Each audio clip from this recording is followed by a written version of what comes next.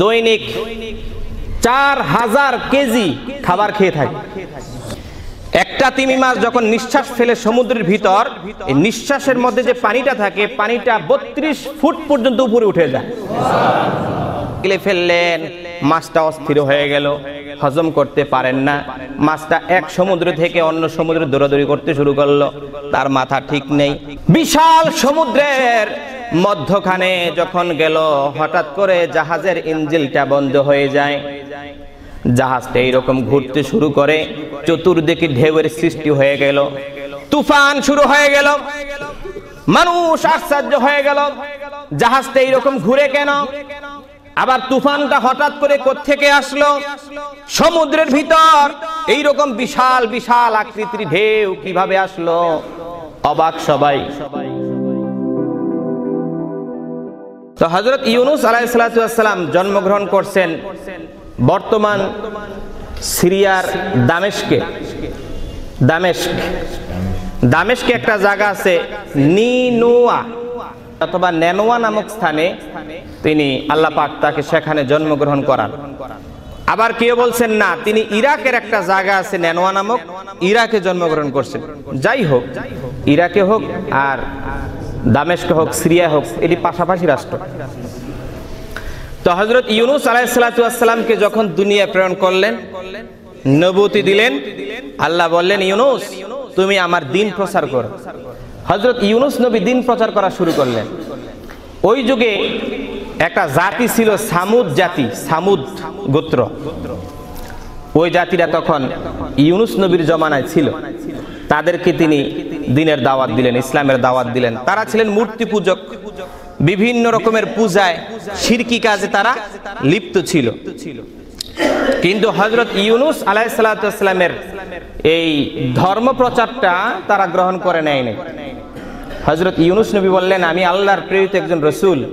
আমাকে তোমরা বিশ্বাস করো, আর আমি যা বলি তা তোমরা শোনো। তোমরা যে ধর্ম পালন করো, এটা মিথ্যা। এটার কোনো কি নাই? দলিল নেই। মজবুত কোন আপনার কথাবার্তা এটাতে নাই। আমি যেগুলো বলছি, এটার পিছনে দলিল আছে ডকুমেন্টস আছে। আমার কথাগুলো তোমরা বিশ্বাস করো, আল্লাহ এক। এই ছাড়া অন্য কোনো মাহবুদ নাই। তোমরা যে মূর্তি পূজা করো, এগুলো করে কোনো লাভ নেই।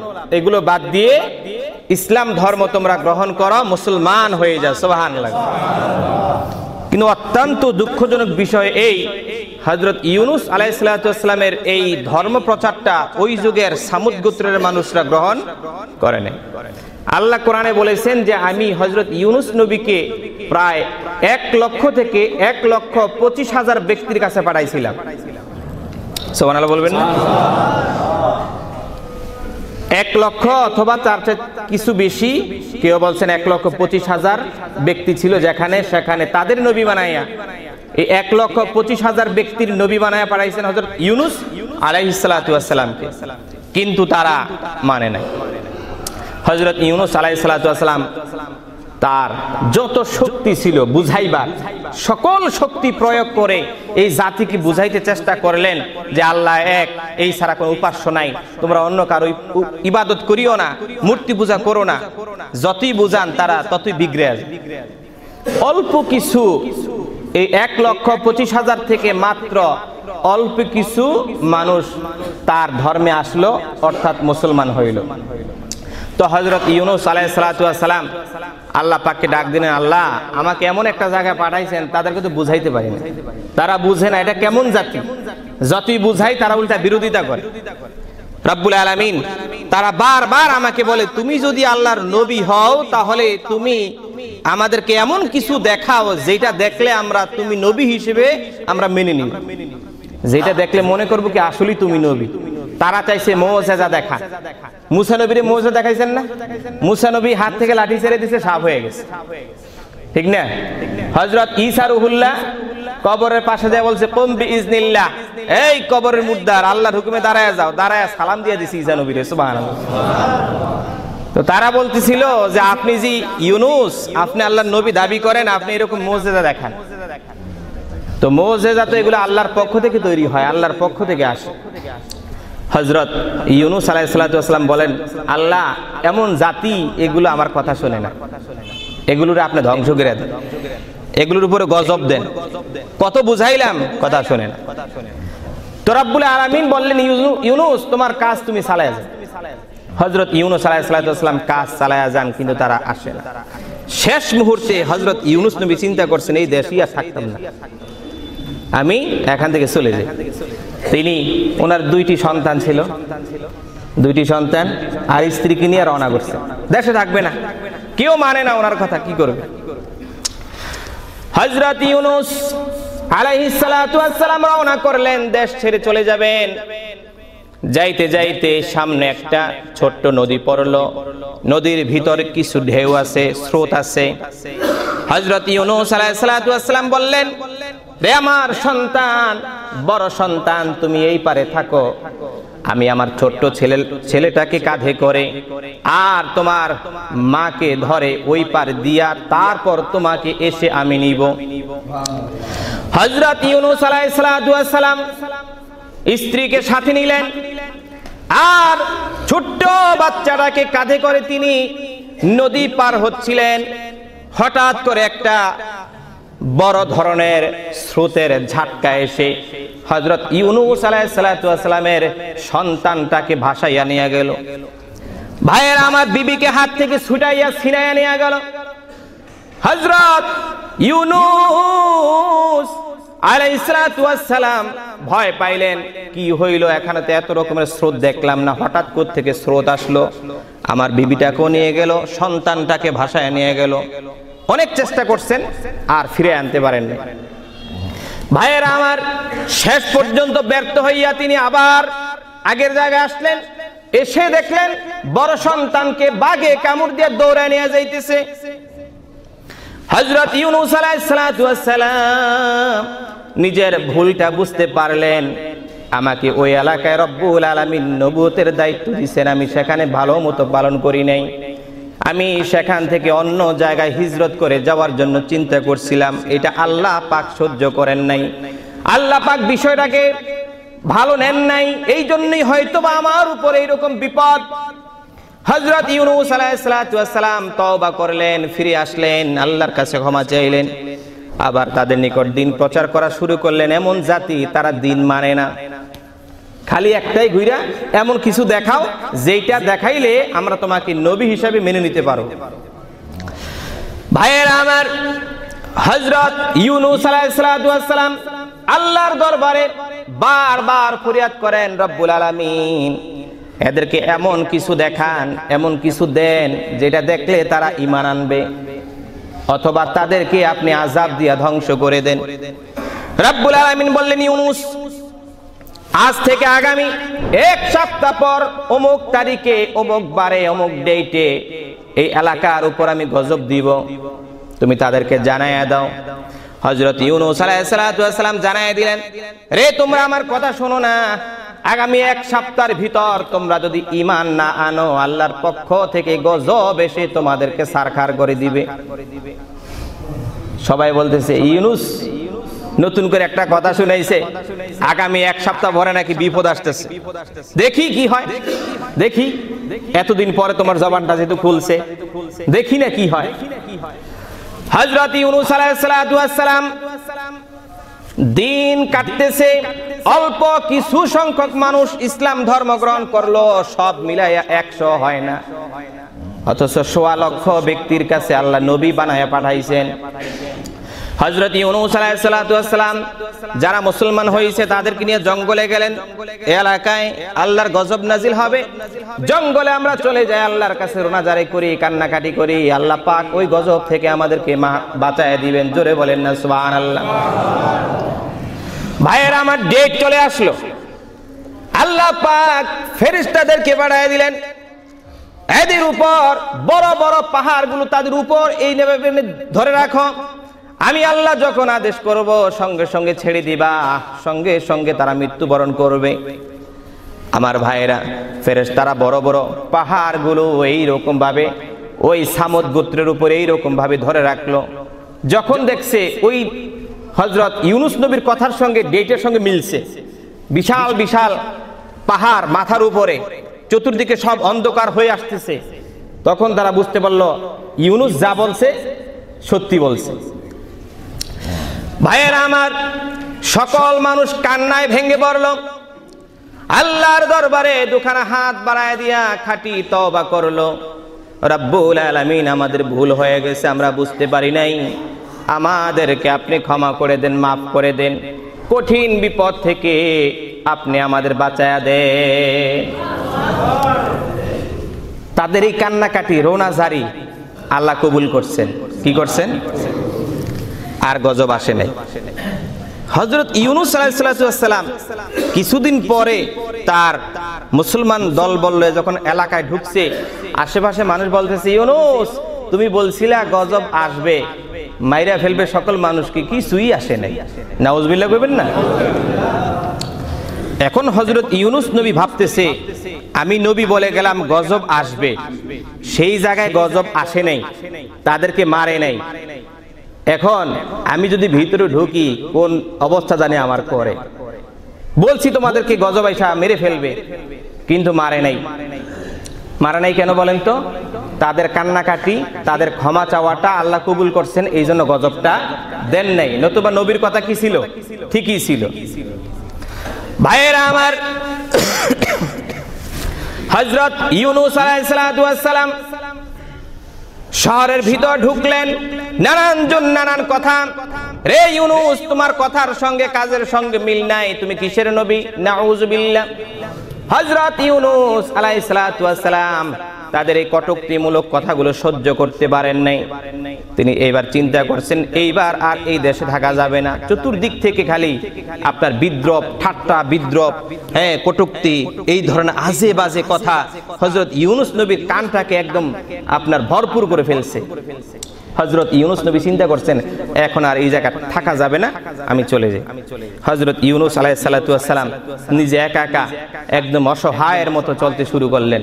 যাইতে যাইতে এমন এক জায়গায় গেছেন, যাই দেখলেন নদীর পারে বিশাল একটা জাহাজ। বিশাল একটা কি? জাহাজ। জিজ্ঞেস করা হলো, আপনারা কোথায় যাবেন? অমুক জায়গায় যাব, দূর এলাকা।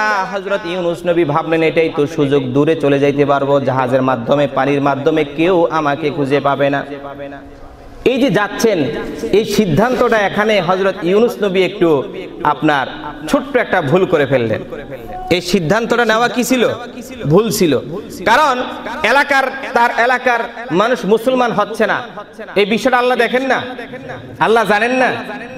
হজরত ইউনুস নবীর উচিত ছিল এখানেই থাকা, যত বিপদ আপদ আসুক। আল্লাহর হুকুমে, আল্লাহ যদি হুকুম দিতেন, তুমি দেশ ত্যাগ করো, হিজরত করো, তখন তিনি হিজরত করে ঠিক ছিল। যেহেতু হজরত ইউনুস নবী আল্লাহর এই হুকুমটা না শুনে এর আগে নিজে নিজে হিজরত করা শুরু করছেন, এই বিষয়টা আল্লাহ কি করেন নাই? পছন্দ করেন নাই। জাহাজে উঠছেন। জাহাজ ছেড়ে দিল, সামনের দিকে আগাইতে শুরু হইল, শুরু করল। বিশাল সমুদ্রের মধ্যখানে যখন গেল, হঠাৎ করে জাহাজের ইঞ্জিলটা বন্ধ হয়ে যায়। জাহাজটা এইরকম ঘুরতে শুরু করে, চতুর্দিকে ঢেউয়ের সৃষ্টি হয়ে গেল। তুফান শুরু হয়ে গেল। মানুষ আশ্চর্য হয়ে গেল, জাহাজটা এইরকম ঘুরে কেন? আবার তুফানটা হঠাৎ করে কোত্থেকে আসলো? সমুদ্রের ভিতর এইরকম বিশাল বিশাল আকৃতির ঢেউ কীভাবে আসলো? অবাক সবাই। আমাদের জাহাজটা তো ডুবে যাবে। ওই যুগে, আগের যুগের প্রধান একটা বিষয় ছিল গণক। কি ছিল? জাহাজের ভিতরেও বড় বড় জ্যোতিষী গণক ছিল। তারা বসছে। চোখ বন্ধ করে গণা শুরু করছে। গন্তে গন্তে গন্তে গন্তে তারা পাইল যে এই জাহাজের ভিতর একজন ব্যক্তি আছে যিনি আল্লাহর হুকুম পালন না করে, পালায়ন করে এই জাহাজের ভিতরে এসে ঢুকছে। ওই ব্যক্তি যদি এই জাহাজ থেকে নেমে যায়, তখনই এই জাহাজ ঠিক হয়ে যাবে, আবার নতুন করে চলতে শুরু করবে। এখন কে? এটা তো আর জানে না। পুরা জাহাজের ভিতর বলে দেওয়া হইল, এমন একজন ব্যক্তি আছে যে ব্যক্তি আল্লাহর হুকুম অমান্য করে এই জাহাজের ভিতর উঠেছে। হজরত ইউনুস নবী তিনিও জানতেন না, তিনি আল্লাহর হুকুম অমান্য করে জাহাজে উঠছেন। তিনি তো ভাবছেন যে আমি দেশ ছেড়ে চলে যাই, কিন্তু এখানে কোন হুকুমের কথা বুঝাইছে, তিনি এখনও বুঝতে পারেন নাই। ভাইয়ের, আমার সকলের নাম কালেক্ট করা হলো। জাহাজের ভিতরে যত মানুষ, সকলের নাম নেওয়া হয়েছে। নাম নেওয়ার পরে ওই যে গণক তারা সেখানে লটারির ব্যবস্থা করল যে যার নাম লটারিতে উঠবে, তিনবার টান দেওয়া হবে। তিনবারে তিনবার যদি কোনো ব্যক্তির একই নাম ওঠে, ওই ব্যক্তি আসল অপরাধী, তাকে সমুদ্রের ভিতর ফেলে দিতে হবে। লটারি টান দেওয়া হলো। লটারি টান দিয়া যার নামটা চলে আসলো তিনি হইলেন আল্লাহর নবী হজরত ইউনুস ভাইয়েরা আমার এই কথাগুলো রব্বুল আলামিন পবিত্র কালামুল্লাহ হাকিমে বলেছেন أعوذ بالله من الشيطان بسم الله الرحمن الرحيم وإن يونس لمن المرسلين إذ أبق إلى الفلك المشحون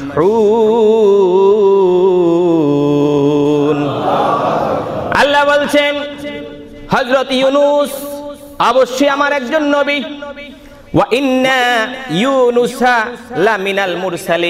তিনি নবী কিছুই নন, তিনি একজন অবশ্যই আল্লাহর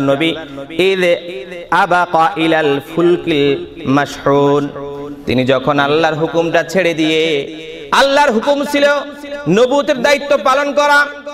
মানুষকে দিনের দাওয়াত দেওয়া, তিনি এটা ছেড়ে দিলেন অসহ্য হয়ে। যন্ত্রণা সহ্য করতে পারলেন না।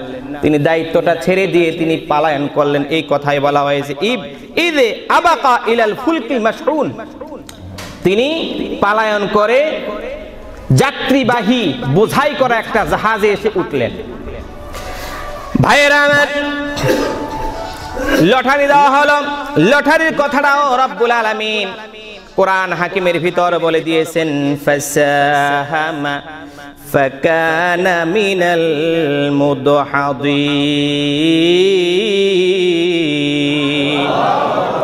ভাইয়ের, আমার গণকরা লটারি দিল। লটারির ভিতর হজরত ইউনুস নবী দোষী সাব্যস্ত হয়ে গেলেন। নাম তার চলে আসলো, একবার, দুইবার, তিনবার দিল, তিনবার হজরত ইউনুস নবীর নামটা চলে আসলো।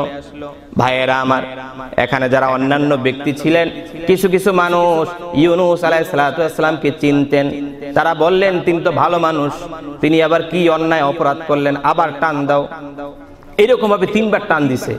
কিন্তু তিনবারই নাম আসে কার? ইউনুস নবী। এখন এই কথা বলতে কেউ সাহস পায় না যে ইউনুস নবীকে ফেলে দাও। তো ইউনুস নবী তো বুদ্ধিমান, তার তো মেধা আছে। তিনি চিন্তা করলেন, আমার জন্য পুরা গোটা জাহাজটা ডুবে যাচ্ছে। আমার জন্য জাহাজটা ঘুরতেছে, সমুদ্রের ভিতর ঢেউ তৈরি হয়ে গেছে। সুতরাং কেউ বলার আগেই আমি জাহাজ থেকে নেমে যাই। ভাইয়েরা আমার হজরত ইউনুস আলাইহিসসালাম জাহাজ থেকে নেমে গেলেন। فالتقمه الحوت وهو مليم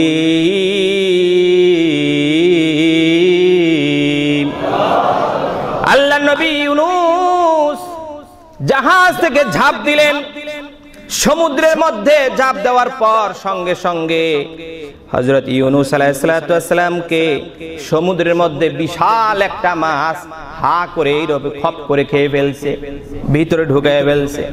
বিশাল একটা মাছ এসে ইউনুস নবীকে কি করল? খেয়ে ফেলবে ভাইয়ের আমার হজরত ইউনুস নবী এখন কোথায়?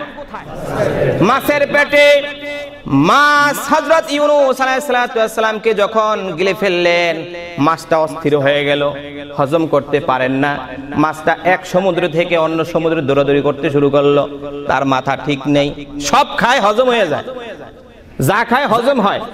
কিন্তু আজকে এমন একটা বিষয় খাইছে, এইটার কি হয় না? হজম হয় না। হজরত ইউনুস আলাইসালাম প্রথম ভাবলেন আমি মরে গেছি।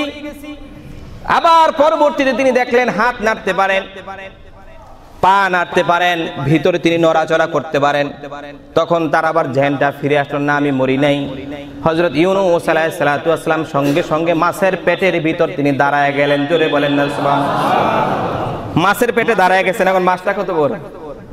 হ্যাঁ? আপনারা তিমি মাছের কথা শুনছেন? তিমি মাছ? বলেন তো তিমি মাছ কত বড়? তিমি মাছগুলো লম্বায় একশো পঞ্চাশ ফিট লম্বা হয়। সুবাংলা বলবেন না।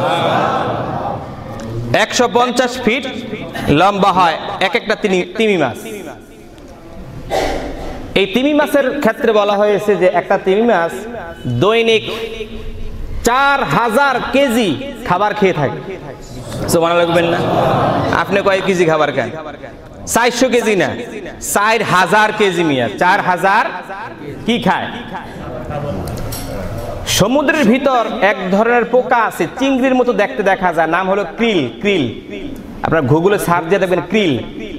এই ক্রিল, এটি চিংড়ি মাছের মতো। নাম ক্রিল। এই ক্রিলগুলো হইল আপনার তিমি মাছের প্রধান খাবার খাবার। দৈনিক চার হাজার কেজি এই ক্রিল খেয়ে তারা বেঁচে থাকে সোবাহান আপনার এই তিমি মাছগুলো যখন সমুদ্রে দৌড়ায়, রাগান্বিত হয়ে যায় অথবা খাদ্যের সংগ্রহের জন্য দৌড়ায়, তখন ঘন্টায় চল্লিশ কিলোমিটার পর্যন্ত দৌড়াইতে পারে। বাংলা করবেন না? তিমি মাছ, এটার যে নাকের ডগা, তিমি মাছ কিন্তু অনেকটা মানুষের মতো, জানেন? তিমি মাছ অনেকটা মানুষের মতো। মানুষ যেমন একটা করে বাচ্চা দেয়, তিমি মাছ কয়টা বাচ্চা দেয়? একটাই। অনেকগুলো না? মানুষ যেমন বাচ্চাদেরকে দুধ খাওয়ায়, তিমি মাছও দুধ খাওয়ায়। না? মানুষের হৃৎপিণ্ড আছে, তিমি মাছের হৃৎ- হৃৎপিণ্ড আছে। অন্যান্য মাছ আপনার ফুসফুসের মাধ্যমে শ্বাস প্রশ্বাস টান দেয়। একমাত্র তিমি মাছ, আমাদের মতো এরকম ফুসফুস আছে ভিতরে, যার মাধ্যমে নিঃশ্বাস টানে। লাগবে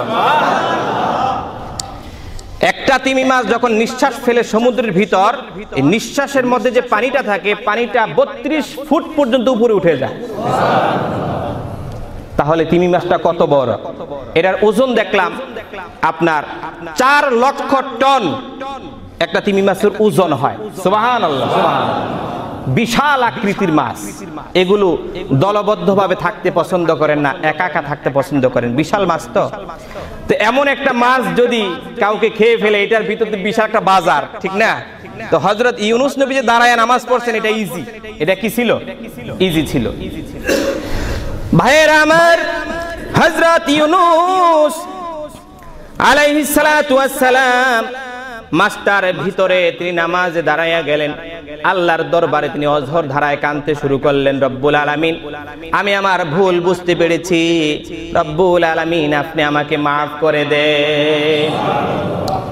আমার ভাইয়েরাম হজরত ইউনুস আলাইহিস সালাতু মাস ইউনুস নবীকে পেটে নিয়ে দৌড়াইতেছেন।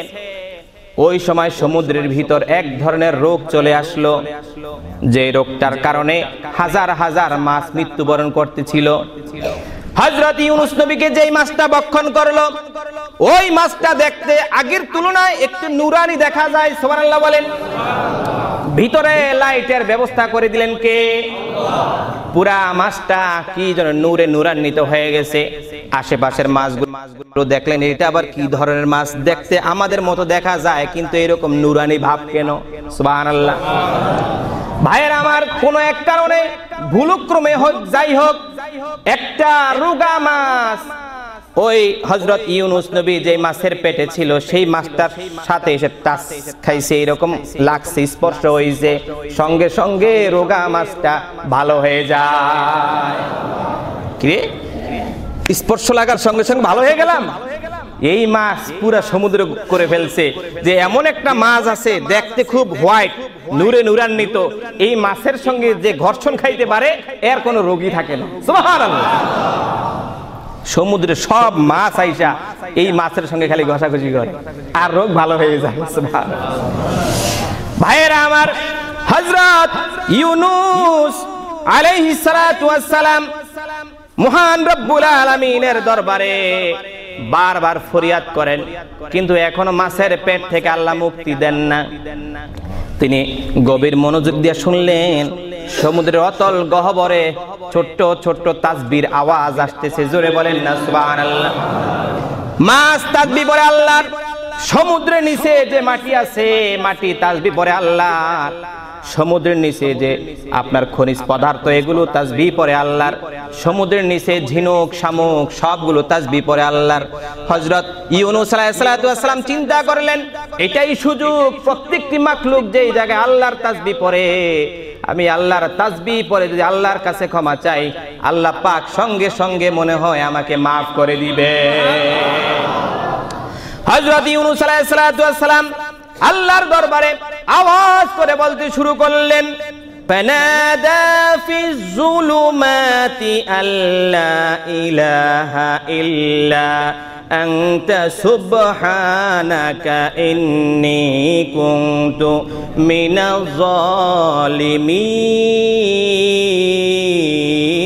الظالمين فاستجبنا له ونجيناه من الغم وكذلك ننجي المؤمنين رب العالمين জগতের মালিক আল্লাহ আল্লাহ ইলাহা ইল্লাল্লাহ তুমি ছাড়া আর কোনো ইলাহ নাই লা ইলাহা ইল্লাল্লাহ মানে কি তুমি ছাড়া কোনো ইলাহ নাই ইল্লা মানে তুমি ছাড়া, তুমি মহান রব, তুমি তো সব। এরপরে বলতেছে আলামিন, আপনি হইলেন সব চাইতে বেশি পবিত্র। আল্লাহ ইন্নী আমি ইউনুস অপরাধী অপরাধ করছি রব্বুল আলামিন, তুমি তো পবিত্র সত্তা। আল্লাহ, তোমার তাজবি পড়লাম, সুবাহানাকা, তুমি পবিত্র, সুতরাং তুমি আমাকে মাফ করে দাও। ভাইয়ের আমার, রব্বুল আলামিন সঙ্গে সঙ্গে হজরত ইউনুস নবীর দোয়া কবুল করলেন, আল্লাহ আকবার। কঠিন মুসিবতের মধ্যে যেই দোয়াটা পরে হজরত ইউনুস নবী মাসের পেট থেকে মুক্তি পাইলেন, সেই দোয়ার নাম কি? সবাই একবার পড়েন, লা ইলাহা ইল্লা আনতা, সুবহানাকা ইন্নী কুনতু জালিমিন তাহলে মুসিবত আসলেই এই দোয়া। মুসিবত আসলেই কি? দেখেন, এর আগে হজরত ইউনুস নবী অনেক দোয়া পড়ছেন। এর আগে নামাজ পড়ছেন। আল্লাহর কাছে অনেক রোনাজারি করছেন। মাছের পেট থেকে মুক্তি হয় নাই। যখনই এই দোয়াটা পড়ছেন, আল্লাহ মুক্ত করছেন। সুবাহান আল্লাহ তাহলে বোঝা গেল এই দোয়াটার অনেক দাম, আছে না নাই? বিপদে পড়লে এই দোয়া পড়বেন। বিপদে পড়বেন, এই দোয়া পড়বেন, আর মুক্ত করে দিবে কে? দেখেন আল্লাহ কি বলেন? ফাস্তাজাবনা লাহু ইউনুস যখন আমার কাছে ক্ষমা চাইলো, এই দোয়াটা পরে আমি সঙ্গে সঙ্গে তার দোয়াটা কবুল করে নিলাম। ওয়ানাজ্জাইনা জাইনাহু আমি সমুদ্র থেকে তাকে মুক্তি দিলাম, মাছের পেট থেকে তাকে মুক্তি দিয়ে দিলাম, সুবহানাল্লাহ।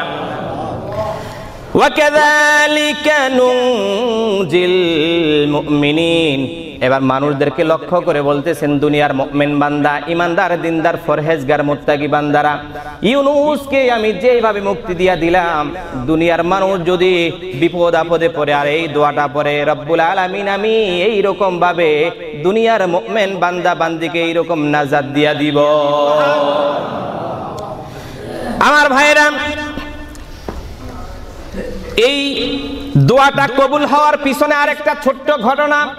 তফসির ইবনু কাসিরের ভিতর আমি আজকেও দেখলাম যে হযরত ইউনুস ওয়াসসালাম যখন লা ইলাহা ইল্লা আনতা সুবহানাকা ইন্নী কুনতু মিনাজ জালিমিন পড়লেন। এই দোয়াটা যখন পড়লেন আর সে আজিমের চতুর্দিকে এই দোয়ার শব্দগুলো ঘুরতেছিল এইভাবে। জোরে বলেন না, সুবহানাল্লাহ। ফেরেশতারা ডাক দিলেন, রব্বুল আলামিন, লা ইলাহা ইল্লা আনতা সুবহানাকা ইন্নী কুনতু মিনাজ জালিমিন এই শব্দটা কি? কার শব্দ বুঝি না। রব্বুল আলামিন বললেন, এই শব্দটা হলো আমার প্রিয় নবী হযরত ইউনুসের। ফেরেশতারা বললেন, রব্বুল আলামিন, তার কি হয়েছে? আল্লাহ পাক ডাক দিলেন, আমি আমার বন্ধুকে পরীক্ষা নিচ্ছি। সুবহানাল্লাহ বলেন, পরীক্ষা নিতেছি, বিভিন্ন রকমের পরীক্ষা। একবার তার স্ত্রীকে কেড়ে নিলাম। তার দুইটা সন্তান কেড়ে নিলাম আমি। তার কোমরা তার কথা শোনে না। এরপরে তাকে মাছের পেটে আমি ঢুকাইলাম। আমি পরীক্ষা নেই, আমার বান্দা তারপরেও আমি রবকে ভুলে যাই কিনা? নাকি আমি রবের ইবাদত করে আমি রবের কাছে ক্ষমা চাই? এটা পরীক্ষার জন্য মাছের পেটে আমি তাকে ঢুকাইছি। ফেরেশতারা বলে, রব্বুল আলামিন, আপনার বান্দা অনেক ভাগ্যবান যে মাছের পেটে থেকেও আপনার পবিত্রতা সে ঘোষণা করতেছে, সুবহানাল্লাহ। আল্লাহ, আমরা ফেরেশতারা আপনাকে অনুরোধ জানাই, সুপারিশ করি। আপনার এই মাহবুব বান্দা হযরত ইউনুসকে আপনি মাফ করে দে আল্লাহ, সঙ্গে সঙ্গে মাফ করে দিলেন। কি করলেন? মাফ করলেন। আমার ভাইরাম এরপর আল্লাহ কি বলে দেখেন? فلولا أنه كان من المسبحين আল্লাহ জানিয়ে দিলেন রে দুনিয়ার মানুষ হজরত ইউনুস যদি মাছের পেটে থেকে এই তাসবিটা না পড়তো। কোন তাসবি লা ইলাহা ইল্লা আনতা, সুবহানাকা ইন্নী কুনতু মিনাজ জালিমিন। মাছের পেটে থেকে ইউনুস যদি এই তাসবিটা না পড়তো, তাহলে কি হইতো? লালা বিসাফি বাউতুনিহি ইলা ইয়াউমি ইউবআথুন। কিয়ামত পর্যন্ত মাছটাকে আমি জীবিত রাখতাম। মাছের পেটে ইউনুসকে আমি কিয়ামত পর্যন্ত রেখে দিতাম। ইউনুসের হায়াত শেষ হয়ে ইউনুস মৃত্যুবরণ করত, মাছের ভিতরেই তার কবরটা হয়ে যাইত। আমার কথা না কোরআনের কথা? অনুবাদ পড়ছি না, আয়াত পড়ছি না? কি বলছেন? যে, লা লাবিসা ফি বাতনিহি মানে পেট। ইলা ইয়াউমি ইউবআথুন মানে কিয়ামত পর্যন্ত মাছের পেটি থাকতো, যদি এই তাসবিটা না পড়তো। আমার ভাইরান মাছের পেটের ভিতর হজরত ইউনুস আলাইসালাম চল্লিশ দিন ছিলেন। কয়দিন? এখানে অনেক মতভেদ আছে। তিন দিন, চার দিন, সাত দিন, দশ দিন, চল্লিশ দিন। মতভেদ আছে। তো বিভিন্ন মুফাসের কারাম এখানে যে ব্যাখ্যাগুলো করছেন, তা আমার কাছে যেটা যুক্তিসঙ্গত মনে হয়েছে আমার কাছে মনে হয়েছে চল্লিশ দিন তিনি ছিলেন। এই জন্য চল্লিশ দিনের কথা বললাম। বিভিন্ন রকমের রাওয়ায়ত আছে। তো হজরত ইউনুস আলাহিসাল্লাম এই চল্লিশ দিন যখন হয়ে গেল, তখন রব্বুল আলমিন মাছের পেটের ভিতরে আলাদা একটা যন্ত্রণা ঢুকাই দিলেন। বাংলা কইবেন? ব্যথা উঠায় দিলেন। মাছ সহ্য করতে পারে না, মাছ দৌড়াদৌড়ি করে এদিক সেদিক যায়। হজরত ইউনুস সালামকে ভিতর থেকে বের করে তিনি ছেড়ে দিবেন, ফেলে দিবেন, এইরকম তার খেয়াল যে এই বিষয়টাকে আমি হজম করতে পারতাছি না। এটার পেটের ভিতর রাখা যাবে না। চল্লিশ দিন পর্যন্ত এই মাছটা অন্য কোনো খাবার আর খাইতে পারে নাই। চল্লিশ দিন পর্যন্ত এই মাছটা অন্য কোনো খাবার খায় নাই। অথচ একটা তিমি মাছ দৈনিক চার হাজার কেজি খাবার খেয়ে থাকে। চল্লিশ দিন হয়ে গেছে সে অন্য কোনো খাবার আর খায় নাই। চল্লিশ দিন হয়ে যাওয়ার পরে ইউনুস আলাহিসাল্লামকে মাছ পেটে করে একটা সমুদ্রের কিনারে চলে গেল। আল্লাহ নির্দেশ দিলেন রে মাছ, আমার বন্ধু, ইউনুসকে তুমি হজম করতে পারবা না, সুতরাং তাকে এমন একটা জায়গায় নিয়ে ফেলে দাও, যেই জায়গার ভিতরে কোনো গাছ গাছালি কিছুই নেই। তৃণমূল এলাকা। মাস্টার সেখানে গেল, সেই জায়গায় গিয়ে আপনার ভিতর থেকে টান দিয়ে হজরত ইউনুস আলাহিসাল্লামকে ফেলে দিল। ফেলে দেওয়ার পরে কি হলো? বিল আর কোরআন হাকিমের ভিতর আসছে। মাছের পেটে থাকতে থাকতে হজরত ইউনুস আলাইসলাম একেবারে সাদা হয়ে গেছে। একেবারে কি হয়ে গেছে? সাদা হয়ে গেছে। আপনারা দেখবেন যে বিভিন্ন রকমের আপনার কোন প্রাণী যদি কিছু খায়, আর কিছুক্ষণ ভিতরে থাকে, দেখবেন গরমে সাদা হয়ে তো হজরত ইউনুস আলাইসলাম প্রচণ্ড গরম ছিল ভিতরে, মাছের ভিতরে। এই চল্লিশ দিন থাকতে থাকতে সেখানে তার উপরের যেই স্কিনটা, এটা আপনার একটু দুর্বল হয়ে সাদা হয়ে পাতলা হয়ে গেছে। ফেলে দিলেন সকালবেলা ফেলে দিছে। কিছুক্ষণ পরে সূর্যের যখন কিরণ এসে পড়া শুরু করল তখন খুব আপনার জলাজলি শুরু হয়ে গেল। পাতলা স্কিন তো? জ্বলতেছে খুব লাগতেছে গায়ে। রাব্বুল আলামিন সঙ্গে সঙ্গে তার বন্ধু ইউনুস তার হেফাজত এবং কেফালতের দায়িত্ব তো আল্লাহ নিয়ে নিলেন এবং সেই জায়গায় হজরত ইউনুস আলাহিসাল্লামকে বাঁচায়া রাখার জন্য একটা লাউ গাছ উঠাইয়া দিলে। কি গাছ উঠাইছেন? এই যে মজা করে লাউ খান এই লাউ গাছের উৎপত্তি হয়ে যায়। ওইখান থেকেই লাউ গাছ। আর রসুল নিজে, আল্লাহ রসুল নিজে লাউ পছন্দ করতেন। বাংলা বলবেন যখন লাউ পাক করতেন তরকারি পাক করতেন, সাথে লাউ দিতেন। তো বিশ্বনবী কি করতেন? আপনার পাত্র থেকে লাউগুলা বাছাই করে করে খাইতেন। সোভান তাহলে বোঝা গেল কি, হুজুর লাউ বেশি পছন্দ করতেন। লাউ খেলে পেট ঠান্ডা থাকে, শীতল থাকে। লাউ খাওয়া সুন্নত। এই জন্য লাউ খাওয়া কি? খাওয়ার চেষ্টা করবেন। ভাইয়েরা আমার কোরআন হাকিম আল্লাহ বলে দিলেন, আলাইহি শাজারাতাম মিয়াকতিন ইউসুফকে যখন ডাঙ্গার ভিতর ফেলে দিল, সে ছিল অত্যন্ত দুর্বল। তখন আমি রব্বুল আলামিন সেখানে একটা লাউ গাছ তৈরি করে দিলাম। লাউ গাছের ছায়া দেখবেন অনেক শীতল। শীতল না? লাউ গাছের জাহা চিনেন জাহা আমাদের সে জাহা কয়।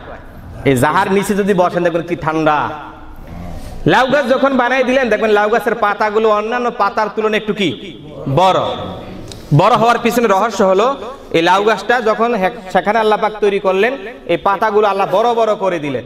ওই পাতার মাধ্যমে সূর্যের যেই কিরণটা, ওই কিরণটা বাধা দিয়া হজরত ইউনুস নবীর গায়ে যাতে না লাগে, এই ব্যবস্থা আল্লাহ নিজে করে দিলেন। ওই সমুদ্রের কিনারায় এই লাউ গাছের নিচে হজরত ইউনুস নবী ছিলেন চল্লিশ দিন। কয়দিন ছিলেন? সেখানে ওই শারীরিকভাবে তার সুস্থ হওয়ার জন্য চল্লিশ দিন সময় লাগছে। ওই জায়গা খাওয়াইছে কে? স্বয়ং আল্লাহ পাক তার কুদরতের ফেরেস্তার মাধ্যমে খাবার সেই জায়গা পাঠাই দিতে আমার ভাইয়েরা হজরত ইউনুস আলাইসালাম যখন সুস্থ হইলেন তখন তিনি আল্লাহর কাছে বারবার প্রশংসা করলেন এবং ক্ষমা চাইলেন রব্বুল আলমিন। আয় আল্লাহ তাআলা, যে গোত্রের কাছে আমাকে তুমি নবী হিসাবে পাঠাইছো, আমি সেই গোত্রের নিকট আবার যাই, তুমি আমাকে মদত দান করো, তাকে, তাদেরকে বুঝার তৌফিক দান করো। দিন ইসলাম বুঝার তৌফিক দান করো রব্বুল আলামিন, যাতে করে আমি তাদেরকে সহজে বুঝাইতে পারি আর সহজে তোমার দিনটা তারা কবুলের মঞ্জুর করে নেয়। ভাইয়ের, আমার হযরত ইউনুস আলাইহিস সালাম আগের জায়গায় গেলেন যেখানে তার এক লক্ষ, প্রায় পঁচিশ হাজার অথবা বিশ হাজার তার উম্মত ছিল। সেই জায়গায় গিয়ে তিনি আবার ধর্ম প্রচার করা শুরু করলেন। ধর্ম প্রচার করার পর রব্বুল আলামিন তার দলের ভিতর হাজার হাজার মানুষদেরকে বুঝাইয়া, মুসলমান বানাইয়া তার দলটাকে আল্লাহ পাক ভারী করে দিলে আমার ভাইয়েরা, এইভাবে কিছুদিন চলার পরে হঠাৎ করে দেখা গেল একদিন একজন ব্যক্তি হজরত ইউনুস আলাইহিসসালামের ছোট্ট বাচ্চাটা এবং তার স্ত্রীকে নিয়ে আসতেছে। পানিয়ে ভাষায় নিয়ে গেছিল না? হজরত ইউনুস নবী দেখে অবাক। এটা কি? সমুদ্রের ভিতর, নদীর ভিতর, আমার চোখের সামনে, আমার হাত থেকে আমার সন্তান স্ত্রীকে আল্লাহ স্রোতের মাধ্যমে নিয়ে গেলেন। আমি দেখলাম আমার চোখের সামনে তারা ডুবে গেল। তারা কোথেকে আসলো? জীবন সঙ্গিনী স্ত্রীকে জিজ্ঞেস করলেন, ঘটনা কি? কীভাবে তোমরা বেঁচে রইলা? ডাক দিয়া বলে, স্বামী হজরত ইউনুস আলাইসালাম আপনার হাত থেকে যখন আমরা ছুটে যাই, রব্বুল আলমিন প্রথম আমাদেরকে পানির নিচে ডুবাই রাখেন। কিন্তু নিঃশ্বাস যাওয়ার আগে আবার হঠাৎ করে দেখলাম, আমরা ভেসে গেলাম। জোরে বলেন না সুবান আল্লাহ কিছুক্ষণ ডুবে থাকি, কিছুক্ষণ ভেসে থাকি। যখনই নিঃশ্বাস নেওয়ার প্রয়োজন হয়, তখন অটোমেটিক ভেসে যাইতাম। আমি এবং আমার সন্তানকে আল্লাহ পাক পানির ভিতর এইভাবে বাঁচাইয়া রাইখা একটা সমুদ্রের কিনারার ভিতর আল্লাহ পাক আমাদেরকে জায়গা করে দিলেন। পরবর্তীতে আবার খবর পাইলাম, আপনি এই জায়গায় ইসলাম ধর্ম প্রচার করেন। সুতরাং আবার আপনার কাছে চলে আসলাম। জোরে বলেন না সুবাহান আল্লাহ আবার কিছুদিন পরে দেখা গেল, বড় সন্তানটা একজন ব্যক্তি নিয়ে আসছে। অবাক ঘটনা কি? আমি চোখের সামনে দেখলাম, বাঘ তোমাকে কামড় দিয়ে দৌড়ায় নিয়ে যাইতেছে, তুমি কীভাবে আসলা? ভাইয়ের, আমার ব্যক্তিগুলো জবাব দেয়, আপনার সন্তানকে বাঘে খেয়েই ফেলতো। আমরা যদি না থাকতাম, আমরা দেখলাম আমাদের সামনে দিয়ে আপনার বাচ্চাকে বাঘে দৌড়ে কামড় দিয়ে নিয়ে যায়। আমরা বিশ তিরিশ জনের একটা আপনার গ্রুপ সেখানে একটা খেলার আয়োজন করেছিলাম, মাজমার আয়োজন করেছিলাম। আমাদের চোখের সামনে যখন এই দৃশ্য দেখলাম, আমরা লাঠি ছোটা নিয়ে সকলে ঝাঁপায় পড়লাম বাঘটার উপর। বাঘটা ভয় পেয়ে আপনার বাচ্চাটাকে রেখে চলে গেল। আপনার বাচ্চাটাকে আমরা চিকিৎসা করে, সুস্থ করে, লালন পালন করতেছিলাম। জোরে বলেন না সুবাহ আল্লাহ আপনার খবর পাইলাম, আপনার খবর পাইয়া আপনার কাছে আপনার বাচ্চাটাকে ফিরিয়ে দেওয়ার জন্য আবার আমরা আপনার নিকট চলে আসলাম। এই হলো হজরত ইউনুস আলাইসালামের ওনার জীবনের কিছু অংশ আপনাদের সম্মুখে আমি তুলে ধরলাম।